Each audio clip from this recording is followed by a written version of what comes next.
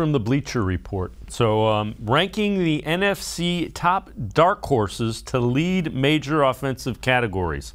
And for passing yards goes Derek Carr from the Raiders, Deshaun Watson uh, from the Browns, and Kirk Cousins. So, uh, that's how well thought of uh, Deshaun Watson is as a quarterback, a dark horse to have the most passing yards in the NFL. Well, in if he don't get, say for instance, he don't get a suspension, right? They just don't. They wait it out till next year. He has an opportunity. He got an opportunity to. to and I'm gonna tell you this.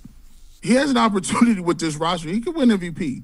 Now it, it'll take a long time. It'll take. Some people might not want to vote for him, but let me give you this: the Cleveland Browns are going to have one of the best running games, and by far, they're going to let this dude go out here and do his thing. They're going to let him go do his thing. Um, and if he's if they got a team that that you're looking at is is trending to four and zero going into the fifth game, three and one going into the fifth game, and he's playing good good ball, and they got the Buccaneers coming to the place. You know, you start to get into your division games.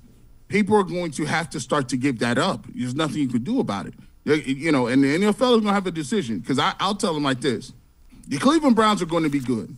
It's up to you to decide what y'all going to do with PR. Like we don't, the Browns will be good next year if Deshaun Watson plays games. So you, you, we can hope and wish and maybe maybe the Browns slide. No, no, no. It's not going to happen. They're too good this year, especially given the fact that they're they're they look like they uh, they are planning on being good because they're going after guys. And I wouldn't be surprised if they go out and, and we we talked about receivers. I wouldn't even be su- surprised if they go get another receiver. I'm not gonna be. I'm gonna be honest with you.